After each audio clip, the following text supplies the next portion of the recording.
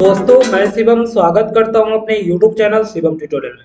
दोस्तों, आज की इस वीडियो में हम बात करने वाले हैं फाइनल ईयर इंजीनियरिंग स्टूडेंट का जो प्रोजेक्ट होता है उसके बारे में।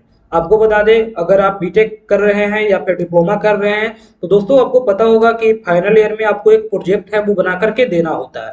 तो अगर आप अभी सेवेंथ सेमेस्टर में हैं तो इसमें आपको एक माइनर प्रोजेक्ट देना होगा, उसके बाद जब एट में जाओगे तो आपको एक मेजर प्रोजेक्ट है, वो करना होता है। तो दोस्तों वीडियो में हम देखेंगे कि इसमें आपको क्या क्या है वो करना होगा। दोस्तों हम सिलेबस के बारे में बात करें तो आप अपना सिलेबस में देखोगे कोई भी ब्रांच का स्टूडेंट है तो उसे प्रोजेक्ट वन दिया गया है।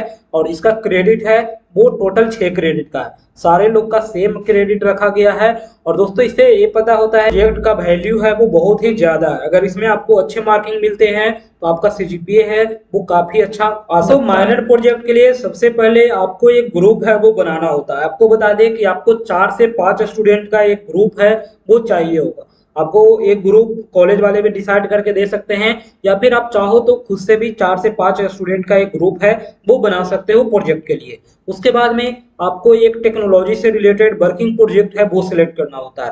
आपको बता दें, ऐसा प्रोजेक्ट जो आप उससे बना सके। ऐसा नहीं कि आप जो उसमें कुछ भी सिलेक्ट कर लिए, आप चंद्रमा पे सैटेलाइट भेज रहे हो, लेकिन जब बनाने की बारी आया तो बन ही नहीं रहा तो ऐसा आपको नहीं करना है, आप ऐसा ही प्रोजेक्ट्स का चयन करें जो आप बना सकते हो। दोस्तों मैक्सिमम लोग ऐसे होते हैं जिनको टेक्नोलॉजी की थोड़ी भी नॉलेज नहीं होती है। आपको बता दें, आप बिहार के इंजीनियरिंग कॉलेज में हो, यहाँ पे ना तो फैकल्टी उतने अच्छे होते हैं जो कि आपको टेक्नोलॉजी के बारे में अच्छे से समझा सके। तो इसके अलावा ना तो कॉलेज में कोई ऐसा इवेंट होता है, ना कोई टेक फेस्ट होता है जिसमें टेक्नोलॉजी से रिलेटेड कोई इवेंट रखा गया हो।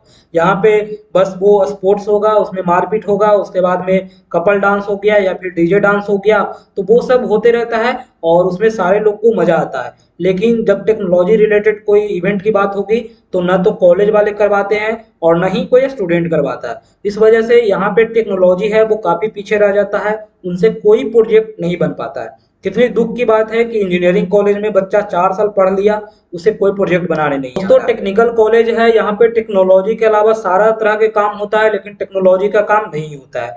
तो जैसा माहौल मिलता है, वैसे स्टूडेंट हो जाते हैं, उनको अगर अच्छे से माहौल शुरू से दिया जाएगा तो ज़रूर इसमें वो अच्छा करेंगे। लेकिन हम बिहार में है, यहाँ पे हमारे यहाँ ऐसे ही होता है। तो कुछ लोग ऐसे होंगे जो आर्डिनो के बारे में जानते होंगे आईओटी सीखे होंगे। तो दोस्तों, आप लोग Arduino IoT solar energy wireless technology जैसे बहुत सारे टेक्नोलॉजी है, उसके यूज़ करके आप कुछ प्रोजेक्ट है, वो बना सकते हैं। आपको बनाना ही पड़ेगा क्योंकि आपके सिलेबस में है, नहीं बनाओगे तो आपको मार्क्स नहीं मिलेंगे। तो इसके लिए आप कहीं से भी कॉपी पेस्ट करके, जैसे भी हो, आपको एक तैयार करके देना होता है। आप एक ग्रुप डिसाइड कर लो, उसके बाद में आपको कौन से प्रोजेक्ट बनाना है, उसके बारे में डिस्कशन कर लो और प्रोजेक्ट का नाम है वो सिलेक्ट कर लो। उसके बाद में कॉलेज वाला आपसे एक सिनोप्सिस रिपोर्ट मांगेगा, वो आपको बना करके दोस्तों, हम सिनोप्सिस रिपोर्ट के बारे में बात करें तो सिनोप्सिस रिपोर्ट ज़्यादा कुछ होता नहीं है, बस प्रोजेक्ट आप कौन सा बना रहे हो, उसके बारे में एक शॉर्ट डिटेल होता है और आप इसे एम एस वर्ड पे जनरेट कर सकते हो। आपको एक कवर पेज बनाना है। कवर पेज में आपको प्रोजेक्ट का नाम है, वो दे देना है। आपने टीम बनाया है, उस टीम का क्या नाम है और उसका जितने भी मेंबर हैं, उन सारे का नाम है, वो आपको नीचे डिस्क्राइब कर देना है। उसके बाद में दोस्तों नेक्स्ट पेज में आपको प्रोजेक्ट के बारे में बताना है कि आपका प्रोजेक्ट क्या है।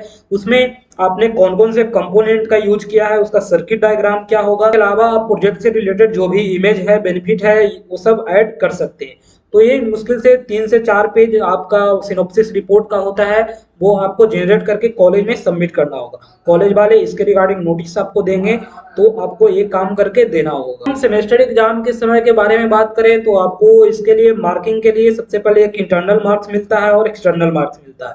तो इंटरनल में आपको ग्रुप प्रेजेंटेशन होगा, जिसमें ग्रुप आपका बना होगा पूरे ब्रांच में, उन सारे लोग को बारी बारी से बुलाया जाएगा और एक ग्रुप का प्रेजेंटेशन है, वो एक बार में किया जाएगा। जो भी लोग होंगे, उन सारे लोग को प्रेजेंटेशन देना होगा और अपने प्रोजेक्ट के बारे में बताना होगा, समझाना करना होगा। वहाँ पे जो भी टीचर होंगे, वो आपसे काउंटर क्वेश्चन पूछेंगे, आपको मेंटली परेशान करेंगे। अगर आप लड़का हैं तो आपका प्रेजेंटेशन अच्छा जाएगा तो भी आपको हो सकता है नॉर्मल मार्क्स मिलेगा। लेकिन आप लड़की हैं और अब थोड़े से सुंदर दिखते हैं तो आपको फुल मार्क्स मिलेंगे और अच्छे मार्किंग मिलेंगे।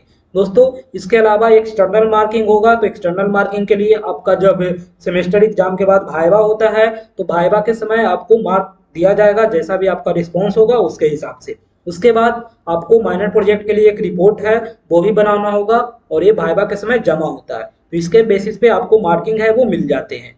माइनर प्रोजेक्ट में आपको कोई वर्किंग प्रोजेक्ट नहीं बनाना है, लेकिन आपको प्रोजेक्ट के बारे में पूरा जो डिटेल्स है, वो आपको शेयर करना होगा कॉलेज वाले के साथ। इसके अलावा बहुत सारे कॉलेज में ऐसे बोला जाता है कि आप इसमें भी एक छोटा सा प्रोजेक्ट बना लो और मेजर में कोई बड़ा सा प्रोजेक्ट बनाना तो आप वो भी काम कर सकते हैं, लेकिन अगर आपके कॉलेज वाले बस बोलते हैं इस तरह से सिनोप्सिस रिपोर्ट जमा कर देने के लिए तो आप इसी को फॉलो करना। दो प्रोजेक्ट बनाते हैं, आपको टाइम भी बहुत ज़्यादा है नहीं, आपका सेमेस्टर एग्ज़ाम भी रहेगा, आपके खर्च भी बहुत ज़्यादा हो जाएँगे इस वजह से आप बस एक प्रोजेक्ट मेजर में बनाना और माइनर में उसका डिटेल सब है, वो सब कॉलेज को सबमिट कर देना। अब हमें प्रोजेक्ट रिपोर्ट कैसे बनाना है, इससे रिलेटेड वीडियो मैं बहुत ही जल्द लेकर आऊँगा और दोस्तों वीडियो काम का लगे तो लाइक कर दे, अपने दोस्तों में शेयर करें और किसी भी तरह का कोई इन्फॉर्मेशन चाहिए, आप ज़रूर कमेंट करें। Thank you